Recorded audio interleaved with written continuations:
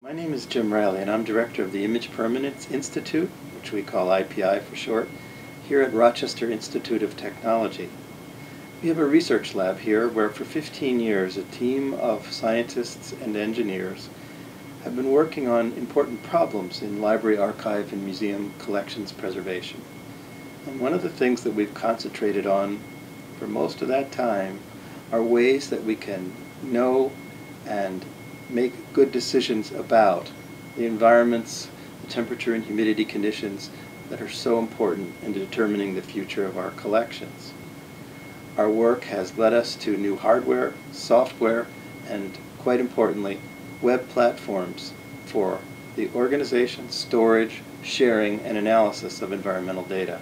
We've known for a very long time that environmental conditions, temperature and relative humidity conditions over time, have a profound impact on the preservation or its opposite, the deterioration of collections. But what has been missing up till now, before IPI and IPI's approaches, is an a priori, from the fundamentals up way to say this particular combination of temperature and humidity conditions over a long span of time are creating these potential risks or giving us these potential benefits to the collections. The work that IPI has done in understanding the causes and the management of deterioration has led us inexorably towards the need to know what environmental conditions are, the need to measure them, the need to analyze them, and from that analysis make good management decisions. To that end, we've developed um, two generations, we're now in our second generation, of uh, what are called data loggers, which are battery-powered, standalone temperature and humidity measuring and recording devices.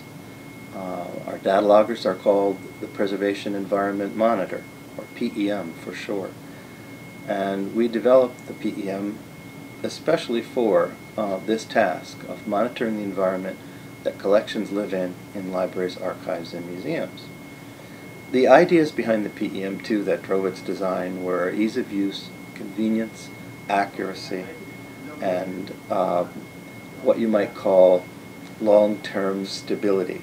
But the PEM alone is not enough.